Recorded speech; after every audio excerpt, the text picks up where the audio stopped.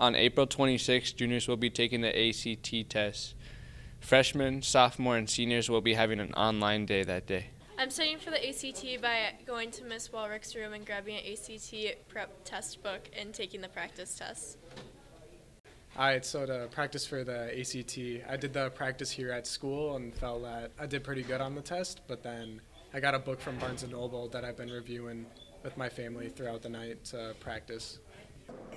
Thinking about studying for the ACT, you have time to study for the ACT before you take the test at the end of the month.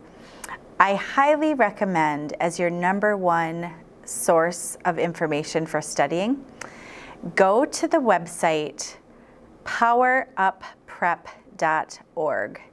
It's an amazing website that has practice tests on it and it also has videos describing each section of the test and it will help you as you're preparing. So I definitely recommend that you try.